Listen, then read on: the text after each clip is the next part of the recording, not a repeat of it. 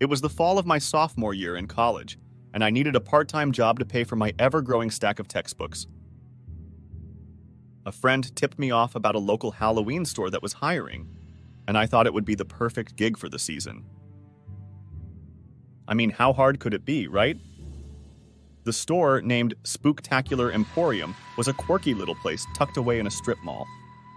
As soon as I walked in for my interview, I was greeted by the sight of rubber spiders, fake blood, and costumes of every variety. A quirky but friendly manager named Terry interviewed me, and I was hired on the spot.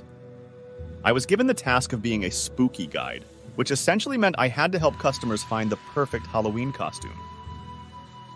Everything was fine during my first few shifts, but Halloween week brought a surge of customers.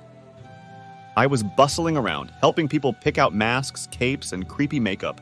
I even found myself explaining the difference between a vampire costume and a zombie costume more times than I ever thought possible. Then, the big mishap happened on Halloween Eve.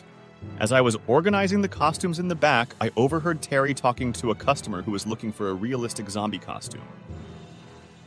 Terry was selling it like it was a real thing, complete with stories of actors who had used it in movies. I couldn't resist jumping in to add some drama to the pitch. I grabbed the costume and dramatically declared, This is the one! It's so lifelike! People will mistake you for an actual zombie! Terry winked at me, playing along, and said, He's right! It's one of our best sellers! The customer, a guy in his 20s, was excited. He purchased the costume and left the store with a big grin. I patted myself on the back for my stellar salesmanship. But here's where things went south. About an hour later, I heard loud, panicked screaming coming from outside the store. I rushed out with Terry, and to our shock, we saw the same customer we'd sold the zombie costume to running down the sidewalk, flailing his arms and shouting. Terry and I exchanged worried glances, fearing that something might have gone terribly wrong with the costume. We ran after the guy who had by now attracted a small crowd of onlookers. As we caught up to him, we realized what the problem was. The guy was wearing the zombie costume, but it was so realistic that people genuinely thought he was a zombie. Passers-by were terrified, and some even ran away screaming. We tried to explain to the guy that he should take the costume off, but he was in such a state of panic that he couldn't understand us.